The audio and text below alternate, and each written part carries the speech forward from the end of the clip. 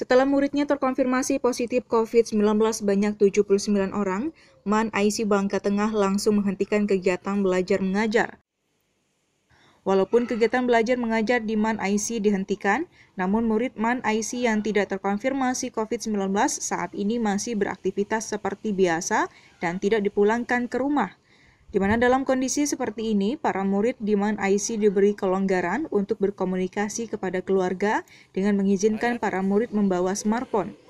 Langkah tersebut diambil guna memberi kenyamanan kepada kedua orang tua yang khawatir terhadap anaknya akibat adanya murid yang terkonfirmasi COVID-19.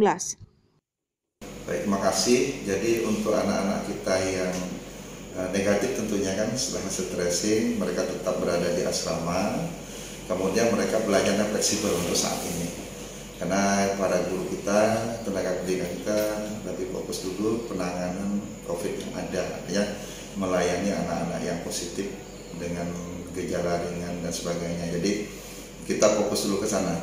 Tapi untuk pembelajaran mereka, toh karena mereka punya tugas masing-masing, tapi kita tidak memberatkan fleksibel.